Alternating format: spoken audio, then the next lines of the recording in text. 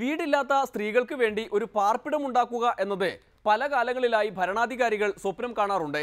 ആലപ്പുഴ ജില്ലാ പഞ്ചായത്ത് പ്രസിഡന്റ് പ്രതിഭ ഹരിയുടെ നേതൃത്വത്തിൽ സ്ത്രീ സൗഹൃദ കേന്ദ്രം തന്നെ ഉണ്ടാക്കിയിരിക്കുകയാണ്. ആലപ്പുഴ ആയതുകൊണ്ട് ജി സുധാകരൻ തോമസ് ഐസക് തുടങ്ങി രണ്ട് വില്ലാളി വീരന്മാരിൽ ആരാണ് ഇത്തരം പരിപാടികൾ ഉദ്ഘാടനം ചെയ്യുക എന്നത് വല്ലാത്തൊരു ആകാംക്ഷയാണ് ഇത്തവണ നറുക്കു വീണത് സുധാകരനായിരുന്നു. രണ്ട് വെള്ളപ്രാവുകളെ ആകാശത്തേക്ക് പറത്തിവിട്ടുകൊണ്ടായിരുന്നു പരിപാടി. സുധാകരൻ പറത്തിവിട്ട പ്രാവ്. അപ്പോൾ തന്നെ പേടിച്ച് സ്ഥലം വിട്ടപ്പോൾ പ്രതിഭാഹരിയുടെ പ്രാവ് പോകാതെ അവിടെ തന്നെ ചുറ്റിക്കറങ്ങി നടന്നു.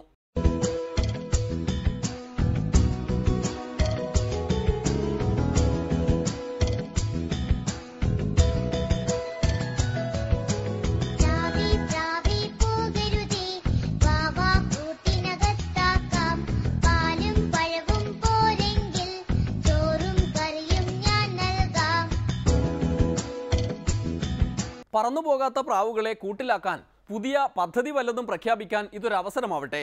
എന്തായാലും സ്വന്തമായി വീടില്ലാത്ത പ്രതിഭാഹരി സ്ത്രീകൾക്ക് വേണ്ടി ഒരു സൗഹൃദ കേന്ദ്രം സ്ഥാപിക്കുമ്പോൾ അറിയാതെ വിങ്ങിപ്പൊട്ടിപ്പോയി.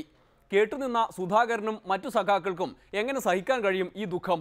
സ്ത്രീ എന്ന രൂപ സത്യം പറയാം ഇതിൽ മാധ്യമങ്ങൾ അറുപത് കോടിയിലധികം രൂപയുടെ പ്രചരണം എനിക്ക് ഇതിൽ തന്നിട്ടുണ്ട്. പല രൂപത്തിലാണെങ്കിൽ പോലും ആറ് കോടിക്കാണ് ചെയ്തതെങ്കിലും അറുപത് കോടിയിലധികം രൂപയുടെ വലിയ പ്രചരണമാണ് എനിക്ക് മാധ്യമങ്ങളിലൂടെ ഇതിൽ പലപ്പോഴും കിട്ടിയിട്ടുള്ളത്. ഇതിൽ സ്ത്രീ എന്ന നിലയിൽ ഞാൻ ശരിക്കും വ്യക്തിപരമായി കൂടി ശാക്തീകരിക്കപ്പെടുന്ന ഒരു പദ്ധതിയായിട്ട് ഇത് മാറുകയായിരുന്നു. സത്യസന്ധത ധീരതയാണ് എനിക്ക് പകർന്നു തന്നിട്ടുള്ളത്. ഞാൻ എപ്പോഴും ചിന്തിക്കും ധൈര്യമുള്ളവർ ഒരിക്കലേ മരിക്കൂ. പക്ഷെ ഭീരുക്കൾ എപ്പോഴും മരിച്ചുകൊണ്ടിരിക്കും എന്നാണ് എനിക്ക് പലപ്പോഴും തോന്നാറുള്ളത്. സ്വന്തമായി വീടില്ല എനിക്ക്. നിങ്ങളോട് പറയുന്നതിലും മടിയില്ല. പക്ഷേ എനിക്ക് സ്വന്തമായി ഒരു വലിയ വീടുണ്ടാക്കുന്നതിന്റെ ഭയങ്കര ആ ഒരു കഷ്ടപ്പാട് വേദന ആ,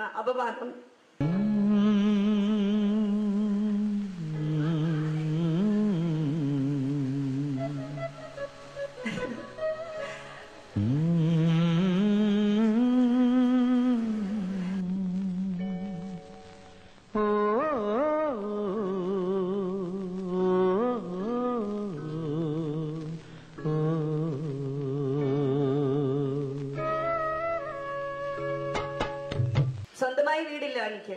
നിങ്ങളോട് പറയുന്നതിലും മടിയില്ല. പക്ഷേ എനിക്ക് സ്വന്തമായി ഒരു വലിയ വീടുണ്ടാക്കുന്നതിന്റെ ഭയങ്കര ആ ഒരു കഷ്ടപ്പാട് വേദന അപവാദം. ഇല്ലില്ല ശാക്തീകരണം പോയിട്ടില്ല. ഇന്ന് നമ്മൾ ഈ വീട് തുറക്കുമ്പോൾ തീർച്ചയായിട്ടും സ്വന്തം വീട് തുറക്കുന്നതിനേക്കാൾ ചാരിതാർത്ഥ്യമാണ് എനിക്ക് ഈ വേദിയിൽ നിൽക്കുമ്പോൾ. കാരണം ഈ വീട് കാലത്തെ അതിജീവിക്കും. ഒരു കുടുംബത്തിന്റെ മാത്രമാണ് പലപ്പോഴും വീട്.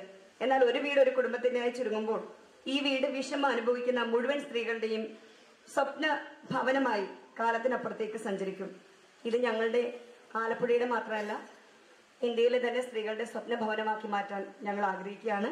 വീടില്ലാത്തവർക്ക് അവിടം ഒരു സ്വപ്ന ഭവനമായി തീരട്ടെ. കാര്യം പറയുമ്പോൾ ശാക്തീകരിക്കപ്പെട്ടതെല്ലാം കരച്ചിലിൽ ഒഴുകിപ്പോകാതിരുന്നാൽ മതി. എന്തായാലും ജി സുധാകരന്റെ പ്രതിയോഗിയായി മാധ്യമ സിൻഡിക്കേറ്റുകാർ കുറ്റപ്പെടുത്തുന്ന തോമസ് ഐസക്കിന്റെ രക്ഷാകർത്തൃത്വത്തിൽ പ്രവർത്തിക്കുന്ന കുടുംബശ്രീ പ്രവർത്തകർ ഈ ഭാഗത്തേക്ക് തിരിഞ്ഞു നോക്കിയില്ലത്രേ.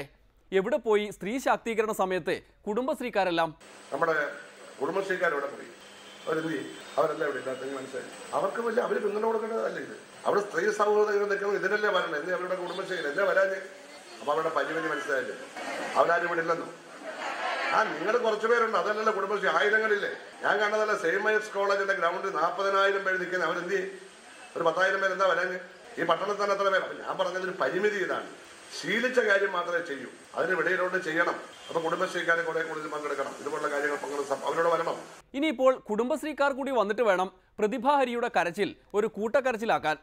എന്തായാലും ജി സുധാകരന് ഇമാതിരി കരച്ചിലുകളൊന്നും വിഷയമേ അല്ല. കാരണം സിനിമകളിലൊക്കെ എത്ര കണ്ടിരിക്കുന്നു? എല്ലാ കാലത്തും സുധാകരൻ സഖാവ് നല്ല ഒരു സിനിമാ പ്രേമിയായിരുന്നു. ഞാൻ സിനിമ കാണുന്ന ആളാണ്. കുട്ടിക്കാലം മുതലേ സിനിമ കാണുന്ന ആളാണ്. എന്റെ നാട്ടുകാരെ പേരുണ്ട് മൂന്നര വയസ്സുള്ളപ്പം എന്റെ അച്ഛൻ എന്നെ കൈപിടിച്ച് നൂറിനാട്ട് പോകണം അവിടുന്ന് ഏഴ് മൈൽ നടന്നു പോകണം വേണ്ടി നടന്നാ പോകണം അന്ന് എന്നെ സിനിമയിൽ കൊണ്ടുപോയിട്ടുണ്ട്. അവിടെ ഏറ്റവും മുമ്പിൽ എനിക്ക് ഇരിക്കണം കാരണം ഇത് വലുതായിട്ട് കാണണം ഈ സിനിമ നടന്മാരെ. ശരിക്കും പുറകിലാണ് ഇരിക്കേണ്ടത്. അവിടെ ഈ തൊട്ടു മുമ്പേ പോയവരുടെ മലമൂത്താതി എല്ലാവരും മേളായിരിക്കുന്നത് അങ്ങനെ മണലാണ്. അന്ന് ഈ പറഞ്ഞ ക്ലാസ്സൊന്നുമില്ല ഭക്തകുചേല ഒരുപാടെണ്ണമുണ്ട്. ഒരുപാട് സിനിമകൾ. അന്ന് കാണുമായിരുന്നു. ഇപ്പം തിയേറ്ററിൽ പോയി കാണാൻ സമയം പറയുന്നത് ടെലിവിഷൻ രാത്രി ആനന്ദം വന്ന ഒരു മണിക്കാൻ കാണാറുണ്ട്. കാണാറുണ്ട് ഇപ്പോഴും. അപ്പൊ സിനിമയോടൊക്കെ വലിയ ഇഷ്ടമാണ്.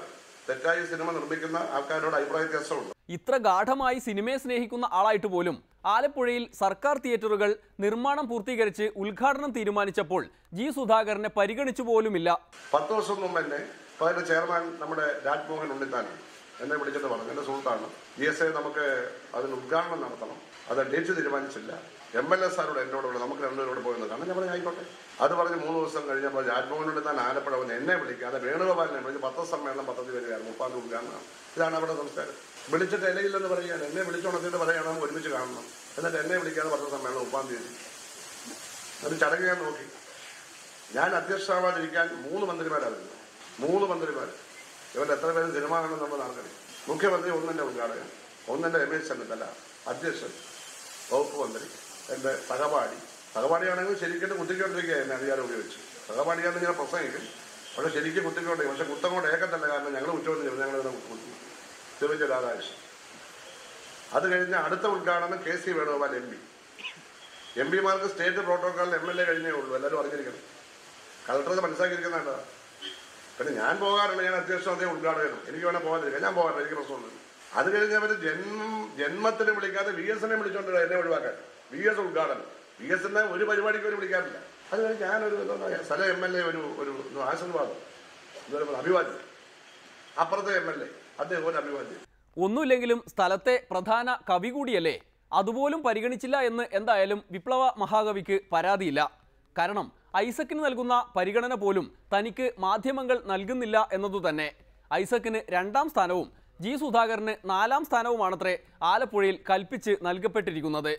ഒന്നാമത്തെ സ്ഥാനം വേണുഗോപാൽ രണ്ടാമത്തെ ഐസക്കിന് മൂന്നാമത്തെ ഷുക്കൂറിന്. എനിക്ക് നാലാം എനിക്കറിയാം. എനിക്ക് നന്നായിട്ട് അറിയാം ഞാൻ സത്യം പറയാം. ഐസക്കിന് പ്രധാന സ്ഥാനം കൊടുക്കേണ്ടതാണ്. രണ്ടാം സ്ഥാനം അങ്ങനെ കൊടുത്തല്ലോ. ശുക്കൂറും കഴിഞ്ഞ എന്റെ നാലാം സ്ഥാനം. ഒരു പ്രസ്താവന നോക്കാം. അയാളുടെ പ്രസ്താവന വന്നാൽ എനിക്കെതിരായിട്ട് വന്ന അഞ്ച് കോണം എന്റെ പ്രസ്താവന മൂല്യമുണ്ട് ഞാൻ പ്രസ്താവന കൊടുക്കാറുമില്ല. ശുക്കൂറിനെതിരെ ഞാൻ ഒന്നും പറയാറില്ല. ഒരു മറുപടി കൊടുക്കാറില്ല. ഞാൻ അദ്ദേഹത്തിന്റെ പേര് പറഞ്ഞതേ ഉള്ളൂ. അദ്ദേഹത്തിന് നാലാം സ്ഥാനം കൊടുത്ത എനിക്ക് യാതൊരു എന്താണ് അവരുടെ രീതി എന്ന് ഞാൻ പറയാം. മാധ്യമങ്ങളുടെ കാര്യത്തിലും സുധാകരന് പരാതിയില്ല. അതിനും കാരണമുണ്ട്. ഉമ്മൻചാണ്ടി സർക്കാരും കോൺഗ്രസുകാരും ചെയ്യുന്ന ചില കാര്യങ്ങൾക്കിടയിൽ അതൊന്നും ഒരു വിഷയമേ അല്ലത്രേ ഉദാഹരണത്തിന് ആലപ്പുഴയിൽ ഒരു കോളേജ് ഉദ്ഘാടനത്തിന് വിളക്കു കത്തിക്കുന്നില്ല എന്ന് പരാതി പറഞ്ഞ് അബ്ദുറബിനെ കൊണ്ടുവരാതെ മുഖ്യമന്ത്രിയെ കൊണ്ടുവന്ന കോൺഗ്രസുകാരുടെ നിലപാട്. അതൊരിടവേള കഴിഞ്ഞ്. അബ്ദുൽ ഇപ്പം മുസ്ലിം ആയതുകൊണ്ട് അതിൽ വിളക്ക് കത്തിക്കില്ല. അതുകൊണ്ടാണ് അയാളെ മാറ്റി മുഖ്യമന്ത്രിയെ കൊണ്ടുവന്നത്. അറിഞ്ഞിരിക്കണം നിങ്ങൾ. ഞാനിത് പറയേണ്ടി വന്നിരിക്കുന്നു. നിലവിളക്ക് കത്തിക്കത്തില്ല. അവിടെ അപ്പുറത്ത് ശ്രീകൃഷ്ണസ്വാമി ക്ഷേത്രമുണ്ട്. അവിടെ ക്ഷേത്രം കൂടിയാണ്